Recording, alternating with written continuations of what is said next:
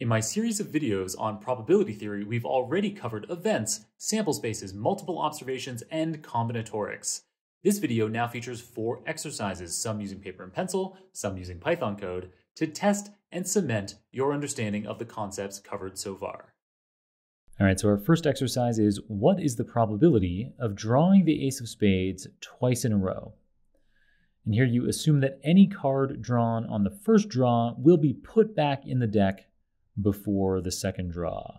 So key piece of information there for getting your probabilities just right. Our second exercise involves you drawing a card from a deck of cards. And now, after replacing the drawn card back in the deck and shuffling thoroughly, what is the probability of drawing the exact same card again? For exercise three, let's use the n choose k formula that we introduced in the preceding video to calculate the probability of throwing three heads in five coin tosses.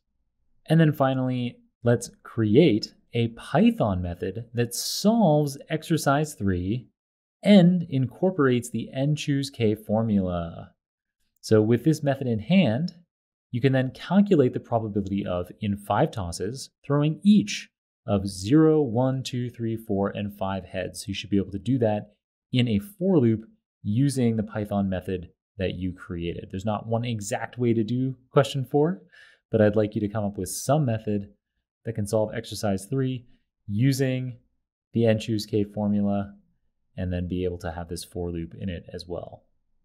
All right, so for exercise one, the probability comes out to about 0.04. It comes out to 0.037 to be more specific. For exercise 2, the probability comes out to 0.02. For exercise 3, the probability comes out to 0.3125. And then for exercise 4, there's lots of different ways to do it, but here is one way that I did it. so I imported the factorial method so that I didn't have to recreate that. Then I used it in a method that incorporates the n-choose-k formula that we talked about. And then I use a list comprehension to iterate over the range of 0 to 6. Um, so we have one specific answer here. This replicates the answer from exercise 3, but now in code. And then this one, it does also replicate exercise 3, as well as the other range of possibilities for our number of coin flips.